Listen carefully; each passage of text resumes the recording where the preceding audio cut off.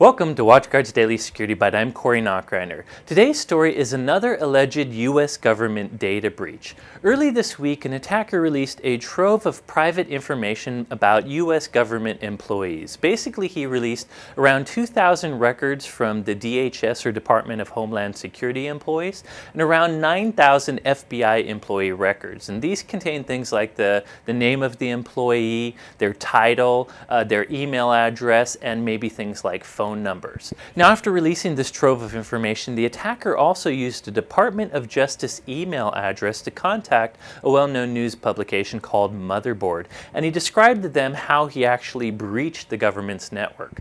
According to him, he first gained access to this DOJ employee's email account. Now he does not say how, it could be lots of things. Maybe he phished this particular employee, he could have guessed a common password, or maybe he used one of the passwords that are out in the public based on some sort of password breach. In either case, he somehow gained access to a DOJ employee's email address. He then used that to try to access the DOJ's web portal. He was not able to actually access the web portal using this particular employee's password, but what he did next was actually call up the support for this web portal.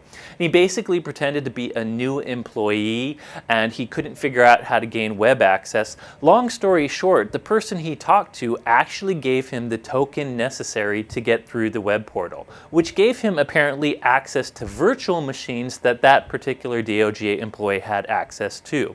Long story short, he looked at all the data on those machines. He claims there's over one terabyte of data. He says he stole 200 gigabytes of data, and in that data was some of the stuff he leaked publicly. Now, we don't know how much of this is really true. What we do know is the leaked data, the employee data, is actually accurate. The email addresses and phone numbers do seem to work according to Motherboard.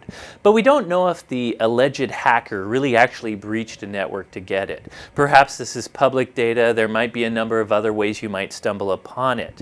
In fact, the Department of Justice actually responded to the motherboard's article, and they actually claimed that there's no evidence that they know of of a breach. However, whether or not this is really true, it is yet another learning experience. You know, a lot of the time I focus on technical hacks, things like malware and exploits and different technical ways bad guys can forcefully break into your network. But you cannot forget social engineering.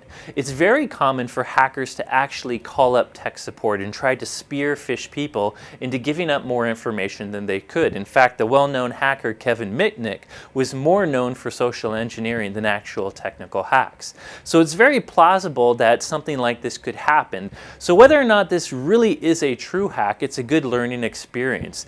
Be aware of social engineering and make sure your employees understand a bit about it. When people are calling them up, they really need to validate the people they're talking to before they give away sensitive information.